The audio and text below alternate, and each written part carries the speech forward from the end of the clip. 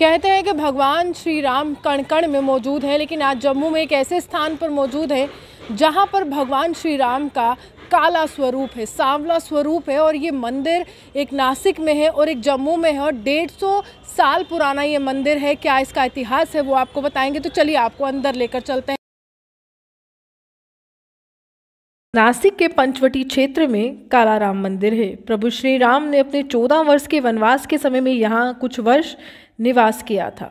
यहाँ पर कई राक्षसों ने कई ऋषि मुनियों को, लोगों को अपनी शक्तियों से भयभीत कर रखा था। जब प्रभु श्री राम वनवास के समय यहाँ आए, तब उन्होंने ऋषि मुनियों की प्रार्थना को स्वीकार कर कर अपना काला रूप धारण किया। यहाँ के जीव सृष्टि को उन राक्षसों से मुक्ति दिलाई। इसी कारण यहाँ पर प्रभु श्री रामचंद्र को काला राम मंदिर से भी जाना जाता है और एक ऐसा ही मंदिर जो नासिक की तरह, जहाँ पर भगवान श्री राम का काला स्वरूप है, वो जम्मू में भी मौजूद है और जम्मू शहर के बीचों बीच है। मर्यादा पुरुषोत्तम श्री राम श्री हरि विष्णु के दस अवतारों में से सातवें अवतार थे।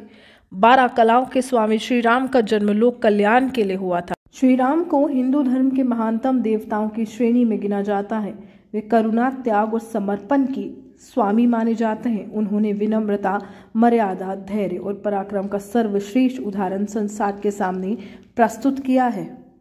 तमाम बाधाओं को पार कर लंका पहुँचना, माता सीता को अपने रामदूत होने का विश्वास दिलाना, लंका को जलाकर भस्म कर देना, भगवान हनुमान के इन्हीं गुणों के कारण उन्हें भगवान श्री राम का सबसे प्रिय भी कहा जाता है।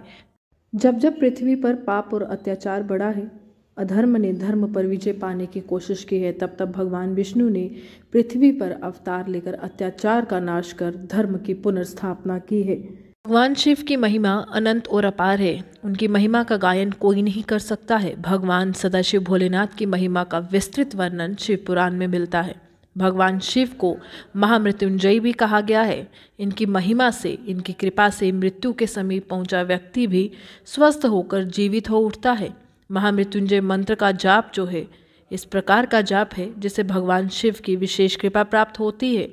शास्त्रों में इस मंत्र को कई कष्टों का निवारक बताया गया है। अगर आप चाहते हैं कि भगवान शिव की विशेष कृपा प्राप्त हो, महामृत्युंजय के मंत्र के जाप के साथ शिवलिंग का जल अभिषेक भी करें तो भगवान के सांवले स्वरूप का दर्शन करवाने का एक ही मकसद था आप भी खुद को धन्य महसूस करें और आपको भी भगवान राम का आशीर्वाद प्राप्त हो। हम ये भी उम्मीद रखते हैं कि आप तमाम लोगों के साथ, अपने दोस्तों के साथ इस मंदिर में ज़रूर आएँ, क्योंकि ये जो मंदिर है, देश में सिर्फ़ दो ही आपको ऐसी मूर्तियाँ मिलेंगी, जो एक नासिक में है और एक जम्मू के पुरानी मंडी में।